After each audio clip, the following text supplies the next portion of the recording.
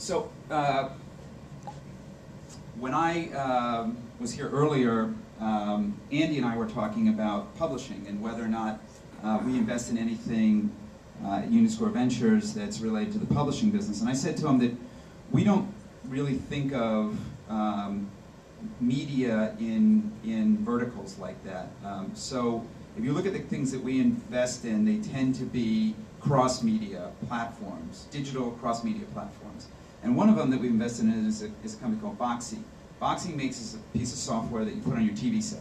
So this is my TV set. You can't really tell, um, but this is a 60-inch large display that's frankly bigger than the screen in my family room. And we're watching a video called Walk on Water. Okay? These guys are literally trying to walk on water. It's pretty funny. And uh, the point is that um, with, with the remote, with the Boxee remote, I point at the screen and all of a sudden some engagement pops up. Now this you recognize, this is your pretty standard internet video player thing. But up here you'll see a little part that says share. And with the remote pointed at the TV, I share this. And this is now going out to thousands of people who are following me on, on Boxee. And if I want, 65,000 people who follow me on Twitter and however many people follow me on Facebook as well, uh, saying, I like walk on water. And what's interesting to me about that is that I'm sitting in my family room, watching TV, sitting on my couch, and without doing anything, I'm literally informing tens of thousands of people that I happen to like this. That took, takes me a nanosecond and I go back to watching TV. Never seen that before in a set-top box. We've never seen that before uh, with a TV set. Now all of a sudden we're seeing that the TV sets are connected to the internet and connected to social networks on the internet and therefore connected to lots of other people and the kinds of things that we're used to doing on the web we're now going to start doing on the TV. And I think that the engagement and the intersection between the content, which is this video about people trying to walk on water, and the presentation layer that uh, wraps around it and allows us to engage with the content, we're just beginning, I think, to tap the power of, of that and what, what it will do for um, our living rooms and family rooms. So this is um, this is a little screenshot from the uh, uh, front screen of Boxee. And I actually wrote a blog post about this today. The most recent version of Boxee added something new. Um, the thing that I showed you in the prior uh, screen has been available in Boxee for at least a year. The thing that's new is that um, in addition to people sharing things they like with me in Boxee, I've now connected my Facebook and Twitter to Boxee, not to send stuff out, but Boxee's now automatically pulling my Facebook feed and my Twitter feed and looking for links to video. And anytime they see a link to a video, they pull it in and stick it in, in my in my Boxee. Right? So I come home after dinner, sit down in front of the TV, and instead of going to watch 24 or Lost or something like that, um, I'm watching a funny video that my son's friend Max put into his uh, Facebook feed.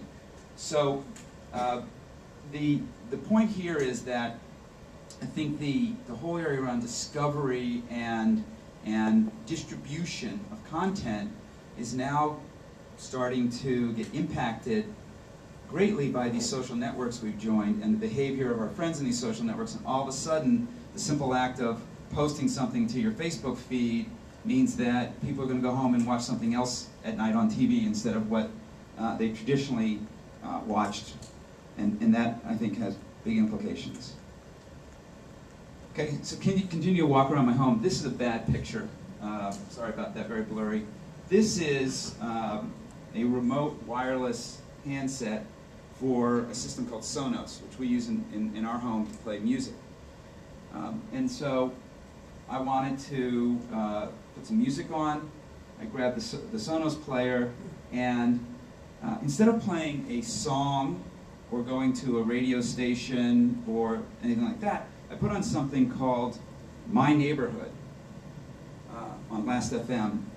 And what's interesting to me about this example that I'm showing you is that it's the mashup of a bunch of different services together.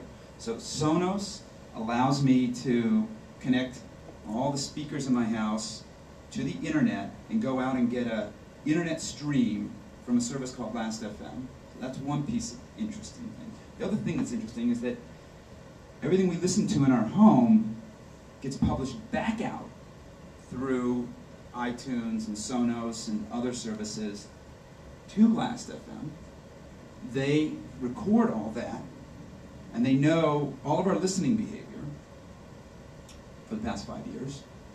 Uh, you can see that by going to last.fm slash Fred Wilson. If you want to see what I listened to this morning, you can see that. If you want to see what I listened to the most ever, you can see that. It's publicly recorded, anybody can see that. But, but that's not the point I'm making.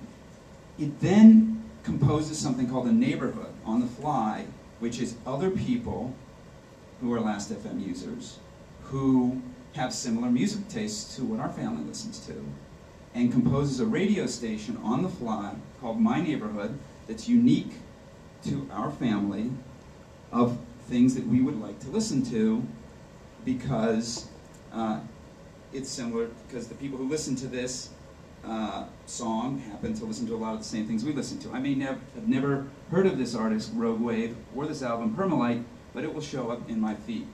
And so the content, this song by this artist on this album, that piece of content um, has gone in a very circuitous route to end up playing on our speakers. Um, and it's because of multiple services being mashed together and combined by both humans, in, by the act of listening, and algorithms, and internet streaming technology, and devices in the home. And I think this is a pretty powerful example of the world that we're now living in. This is what I listened to this morning. Uh, this is called We Are Hunted.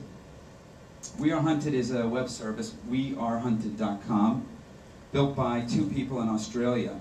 What they do is they crawl the web and they, and, and they look for MP3 files that have been posted on the web, largely to music blogs. And they build effectively a billboard chart. And this is Flash or HTML5. I think it's Flash, but it could be HTML5. And today, these are the top nine songs that they found on the web. You click on the first one, and you just listen.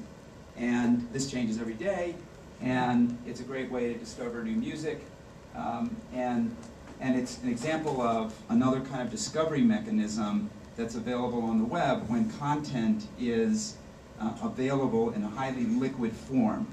Now, now people in the media business, uh, I think, are largely um, uh, look at the music business as an example of what happens when you let your content get out on the internet in a highly liquid form. But I, I would suggest to you that um, that we're all going to get there eventually anyway. And what, what's great about the music business is that entrepreneurs have been able to create experiences like this with music, um, and that has not happened nearly as much in some of the other forms of media that, that exist out there.